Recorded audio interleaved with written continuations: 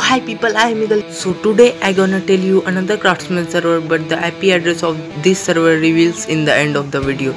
So please watch till in and let's start.